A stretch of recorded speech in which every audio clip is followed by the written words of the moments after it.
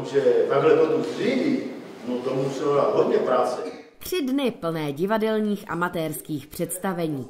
To přinesl Víkend s amatéry, který je projektem akce Petřvald Kulturní město 2022. Letos eh, jsem se snažila to udělat tak, aby každý den byl nějaký tahák. Dneska takovým tahákem uh, už jsme měli první Jarkovskou divadelní společnost, eh, manželku po 40. A zítra třeba bude divadlo Skřítek a hlavně se těšíme taky takový tahoun divadlo Grunt. Pořadatelé byli s letošní návštěvností nadšení.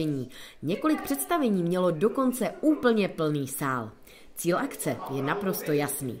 Vtáhnout občany do divadelního světa. Ale nejen to aby měli přehled, jaká divadla tady v okrese nebo v kraji působí, a aby nemuseli jenom za kulturou jezdit, ale aby jsme prostě eh, to divadlo přinesli k divákům až sem do Petřovaldu. Víkend s amatéry je spolufinancován z rozpočtu Moravskosleského kraje a tak vstupné bylo pro návštěvníky zdarma.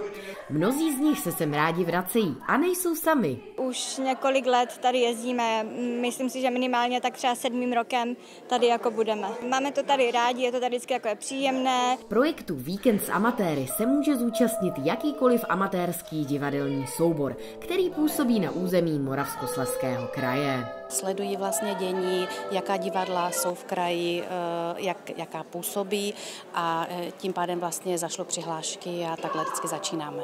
Návštěvníci si tak mohli vychutnat tři skvělé dny plné zábavy, smíchu a taky dobrého občerstvení. Mají nějaký i nápoj, třeba vínečko, což přispěje trošku jakoby k té jejich veselé náladě, což i my pak jako pocitujeme, protože se třeba více smějí, což, což je pro nás samozřejmě jakoby fajn. Homo erectus, to je z latiny, ano.